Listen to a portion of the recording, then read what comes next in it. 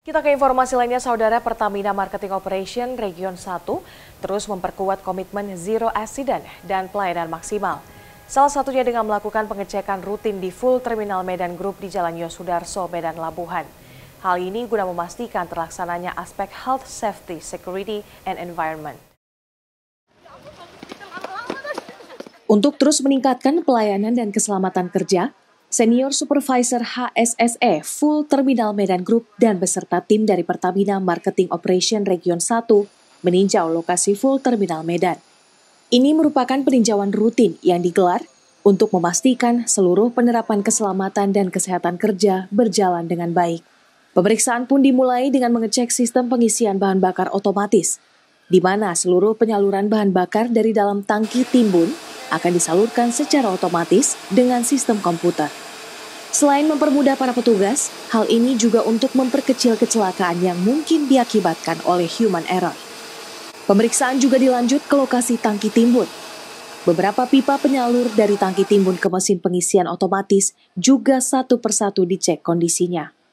Selain itu, bahan bakar yang masuk ke dalam full terminal Medan Group harus melalui proses panjang – Salah satunya pengecekan kualitas di ruang laboratorium, sehingga bahan bakar layak pakai dan kualitas terjaga hingga ke konsumen. Demi penerapan keselamatan dan kesehatan kerja di lokasi full terminal Medan Group, tim juga mengecek kesiapan tim pemadam kebakaran yang selalu berjaga di lokasi full terminal.